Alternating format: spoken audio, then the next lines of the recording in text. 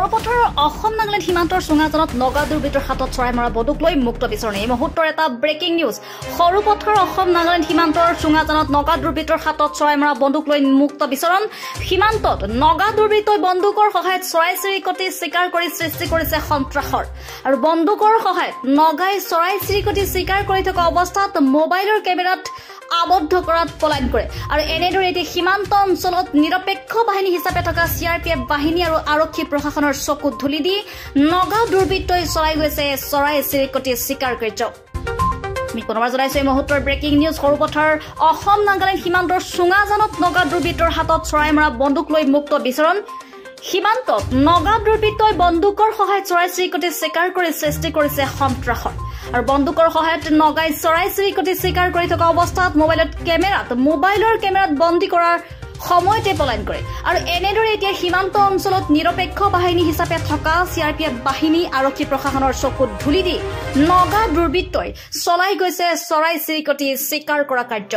হয় ইতিমধ্যে আপোনালোকে দেখিছে যে আচলতে এই অসম নাগালেণ্ড সীমান্তৱৰ্তী অঞ্চল সৰুপথাৰ চুঙাজানত আচলতে কি ধৰণে নগা দুৰ্বৃত্তই হাতত বৃহৎ সংখ্যক আচলতে মাৰণাস্ত্ৰ লৈ কি ধৰণে আচলতে মুক্ত বিচৰণ কৰিছে এই কথাটো আপোনালোকে স্পষ্টকৈ আচলতে ভিডিঅ' ফুটেজৰ যোগেদি দেখা পাইছে যে যোৱাকালি মই আচলতে বোকাজান অভিমুখে আচলতে মৰ্ণিঙত আমি যাত্ৰা কৰিছিলোঁ। তেনেস্থলতে আচলতে চুঙাজান পাৰ হৈ নাওঘাট চাৰিআলি বুলি এটুকুৰা জেগা আছে সেই জেগাডোখৰতে আচলতে সেই নগা দুৰ্বৃত্তই আচলতে বন্ধুক লৈ আচলতে এই পশু পক্ষী আচলতে চৰাই চিৰিকটি নিধন কৰাৰ খুব আচলতে স্বচক্ষুৱে আচলতে আমি দেখা পাইছিলোঁ। আৰু দেখা পোৱাৰ লগে লগে আমি আচলতে তেখেতলোকক আমি কথা পাতিবৰ কাৰণে ৰং এ, আচলতে তেখ- তেখেতক আমি মাতিছিলোঁ। তেখেতে তৎকালীনভাৱে আচলতে পথাৰেদি আচলতে দৌৰি পলায়ন কৰা আমি দেখা পোৱা গ'ল।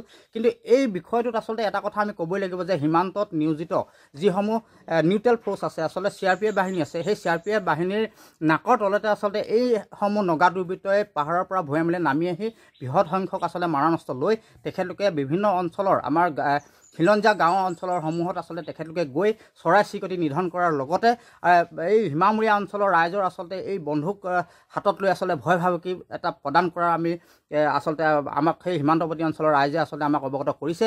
কিন্তু আমি এটা কথা ক'ব লাগিব যে আজি আজি কেইদিনমানৰ আগতে আচলতে অসমৰ মাননীয় মুখ্যমন্ত্ৰী হিমন্ত বিশ্ব শৰ্মা ডাঙৰীয়া সীমামূৰীয়া অঞ্চল আচলতে উৰিয়াম ঘাটলৈ আহিছিলে। কিন্তু আমি খুব এটা আশাৰে বাট চাই আছোঁ যে সীমামূৰীয়া অঞ্চলৰ এই সীমা বিষয়টোৰ ওপৰত আচলতে ৰাইজৰ লগত আলোচনা কৰিব। কিন্তু এটা কথা আমি দেখা পোৱা গ'ল কিন্তু এই সীমান্তৱৰ্তী অঞ্চলত সীমামূৰীয়া ৰাইজৰ লগত আলোচনা কৰাৰ উপৰিও কিন্তু তেখেতে কি কৰিলে যে তেখেতে এজন আচলতে পি ডব্লিউ ডি ইঞ্জিনিয়াৰ ঘৰত থাকি আচলতে প্ৰধানমন্ত্ৰী আৱাস যোজনা ঘৰৰহে আচলতে তাত থাকি এক ৰাতি আমি কটালোঁ বুলি আচলতে তেখেতলোকে ছ'চিয়েল মিডিয়াত আচলতে প্ৰচাৰ কৰা। খুব এটা আচলতে সস্তীয়া প্ৰচাৰ কৰা আমাৰ দেখা পোৱা গ'ল। কিন্তু এই যি সীমা সমস্যা সীমান্তৱৰ্তী ৰাইজৰ খিলঞ্জীয়া ৰাইজৰ জীৱন সম্পত্তি নিৰাপত্তা প্ৰদান কৰাৰ ক্ষেত্ৰত এই বিজেপি চৰকাৰখনে কিন্তু আজিলৈকে আচলতে এই পদক্ষেপ লোৱা কিন্তু আমি দেখা পোৱা নগ'ল। কিন্তু আজি আমি আপোনালোকৰ সংবাদ মাধ্যমৰ যোগেদি স্পষ্ট ভাষাৰে আমি অসম চৰকাৰ তথা বিজেপি চৰকাৰখনক আমি ক'ব বিচাৰিছোঁ যে হয়তো আপোনালোকে সীমা সমস্যা সমাধান কৰক আৰু নহ'লে আপোনালোকে এই সীমান্তৱৰ্তী অঞ্চলৰ ভূমিসমূহ যিসমূহ অবৈধভাৱে একাংশ নগা দুৰ্বৃত্তই হাজাৰ হাজাৰ পুৰা আচলতে মাটি এই যি নগা দুৰ্বৃত্তই আচলতে অধিগ্ৰহণ কৰিছে বা আচলতে অবাধভাৱে আচলতে এই ভূমিসমূহ অবৈধভাৱে আচলতে দখল কৰিছে এই ভূমিসমূহ আপোনালোকে আচলতে নাগালেণ্ড চৰকাৰক বিক্ৰী কৰি দিলে নেকি তাৰ এটা কথা আমাক স্পষ্টকৈ সৰুপথাৰবাসী ৰাইজক স্পষ্ট কৰি দিয়ক।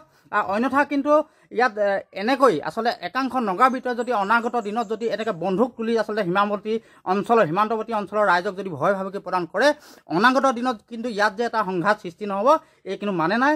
গতিকে অসম চৰকাৰৰ মাননীয় মুখ্যমন্ত্ৰী ডাঙৰীয়াই সময় থাকোঁতেই তৎকালীনভাৱে এই বিষয়টোৰ ওপৰত বিহিত ব্যৱস্থা গ্ৰহণ কৰিবৰ কাৰণে আমি লাচিত সেনা অসম থলগিৰিৰ তৰফৰ পৰা কেন্দ্ৰীয় সমিতিৰ তৰফৰ পৰা আমি দাবী উত্থাপন কৰিছোঁ।